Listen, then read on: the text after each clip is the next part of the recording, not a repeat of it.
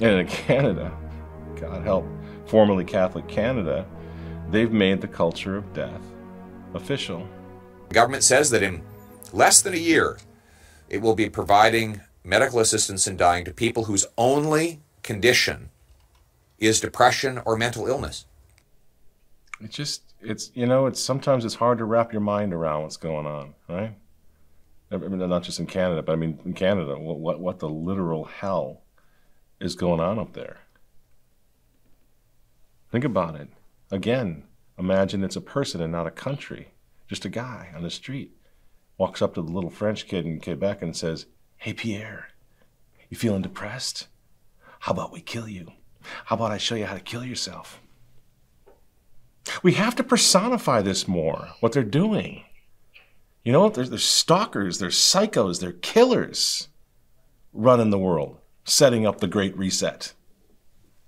They used to make horror movies about this kind of thing that's going on right now, north of the border up in Canada, not far from where I'm sitting right now. They made horror movies about it. You're overwrought, madam. I've opened a window for you. A little air will do you good. You've nothing to live for, really, have you? Look down there. It's easy, isn't it? Why don't you? Why don't you? Go on. Go on. Don't be afraid.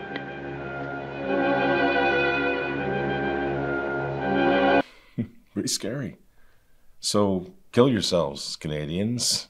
So easy. Because Justin Jones cares about you. It's it's become a cult.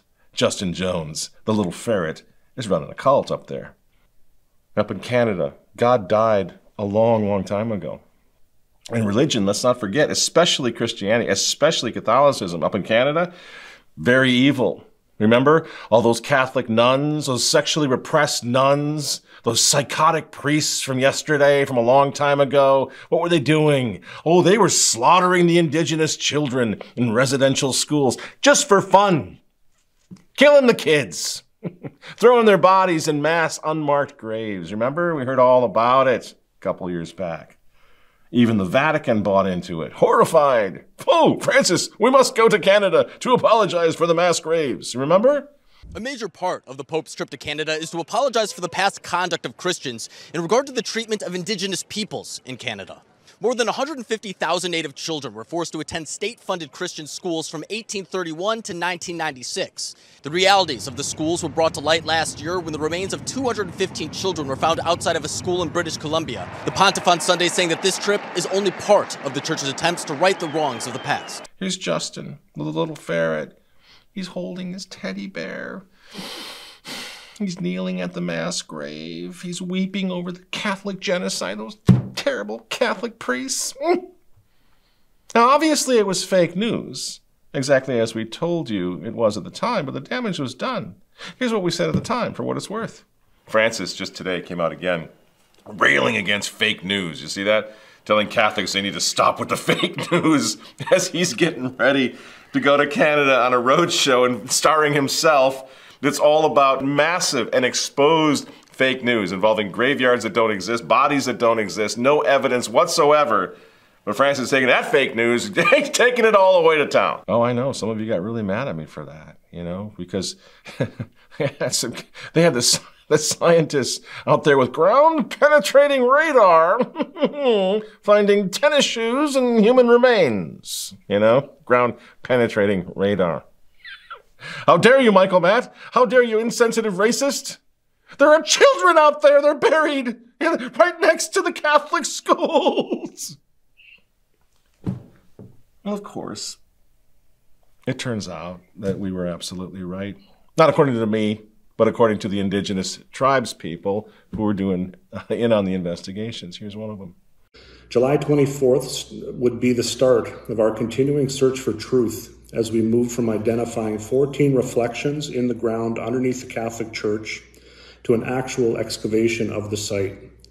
The excavation would be an effort to determine the truth of the reflections identified by ground penetrating radar that was done twice over this location in the past 12 months.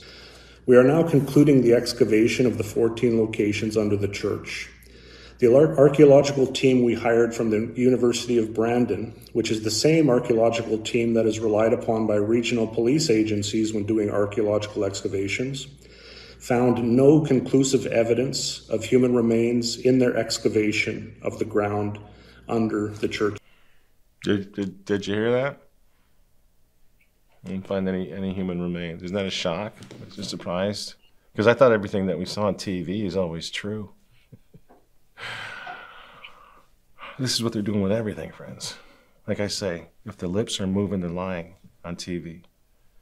And so some people are saying, really? Well, really? This story's huge. It's all over the world now. Because remember, Francis went up and put feathers on. I'll get to that in a minute. Really? So what happened to those indigenous children? I mean, we know they, they suffered, right? We know they were, they, were, they, they were tortured terribly, right? What happened to them all?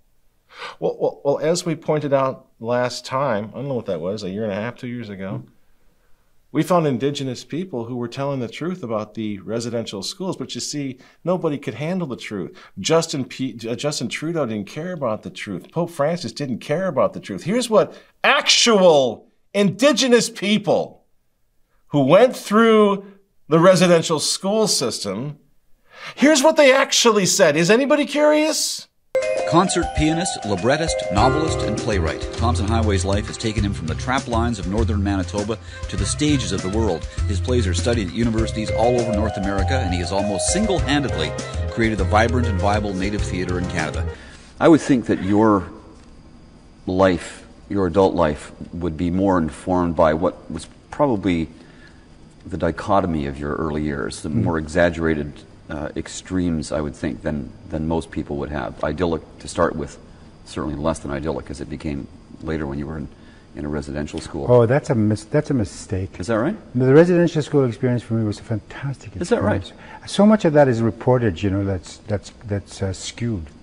It's not quite right.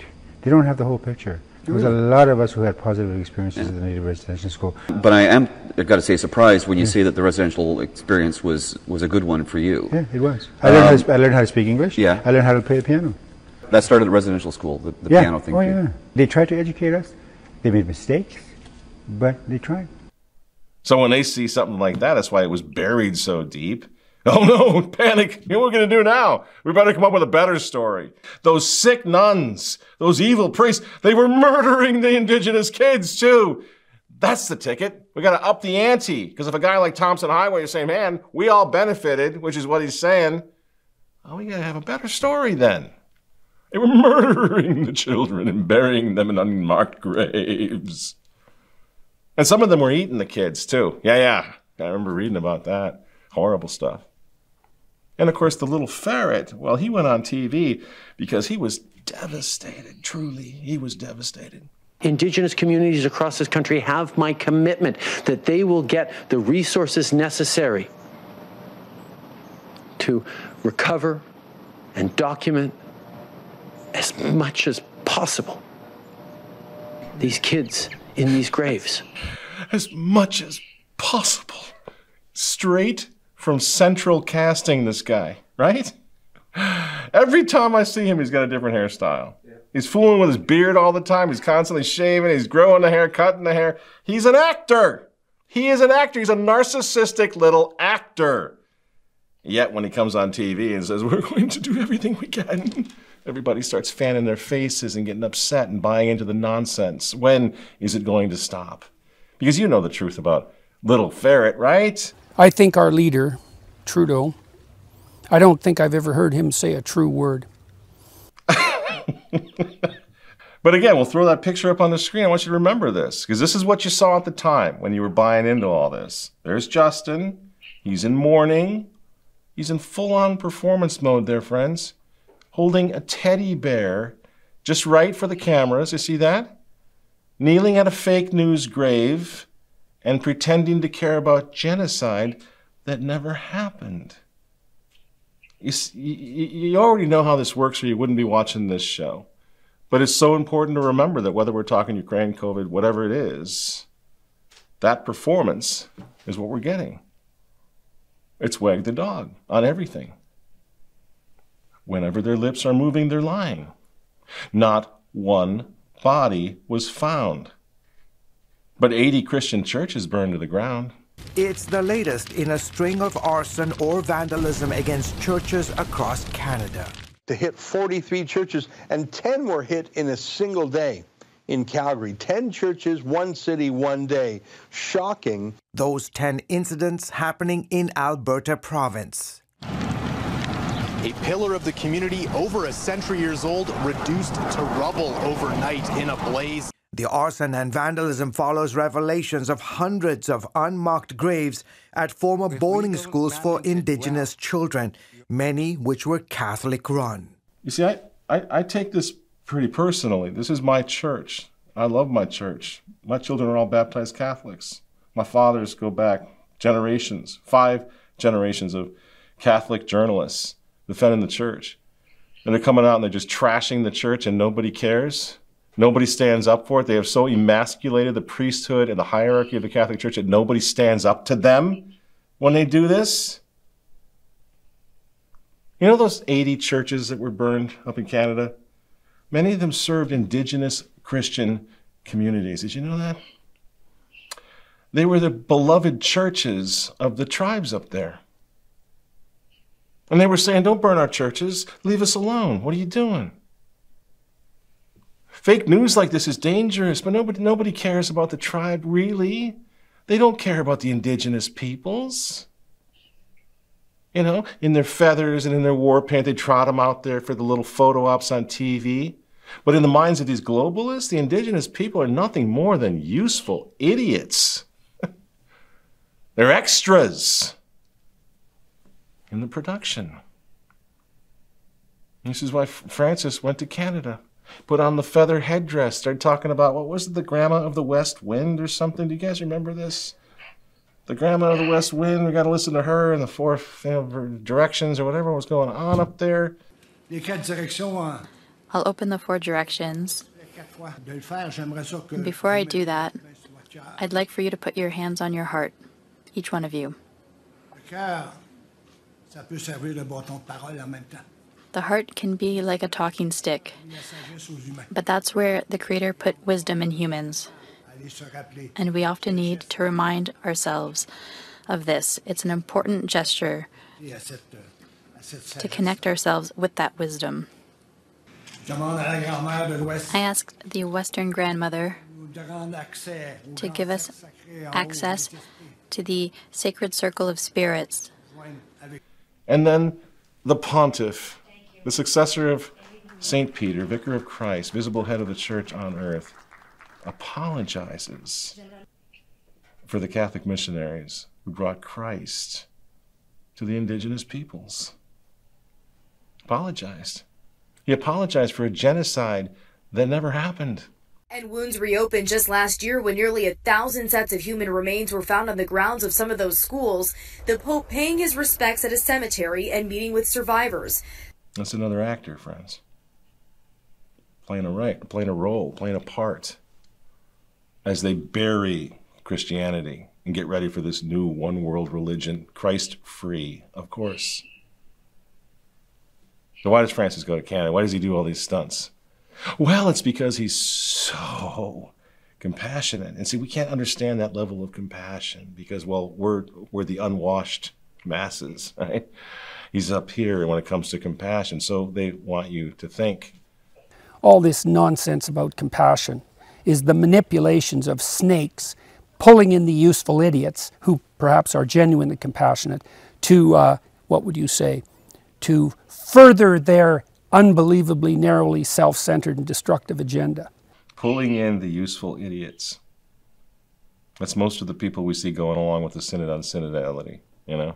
So when you ask yourself, how can people be clueless enough to buy the politically correct line, the answer is, well, they're not very sophisticated verbally. And so if you offer them a solution that's a one stop fits all solution, it's all power, then they buy that because it's a comprehensive explanation for the world.